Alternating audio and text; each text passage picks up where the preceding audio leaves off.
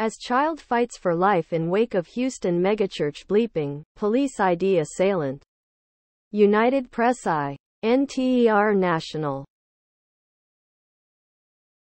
Police in Houston have identified a deceased woman who they say opened fire inside Pastor Joel Osteen. Ends Lakewood megachurch Sunday with an Arkansas 15 that displayed a Palestine sticker. Her son is in critical condition. Below are your comments. She has multiple weapons charges. How did she purchase a gun legally? Dot. Thank God for the armed off-duty officers in attendance and their quick-thinking actions, which save d many lives. I feel for the child and all innocent victims caught in the crossfire.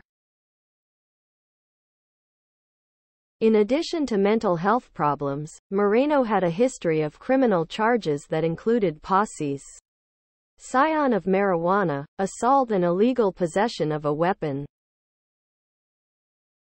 Arkansas 15 she was carrying, was purchased legally. How is this even possible?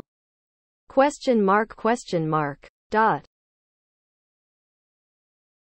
Okay, has anyone viewed any studies on these bleepers to verify how many of them were on antidepressa? NTS? Most of them are outcasts, depressed, or have some other form of mental issue going on. It seems like the mental issue aspect is mentioned a lot, I would be curious how May are taking these anti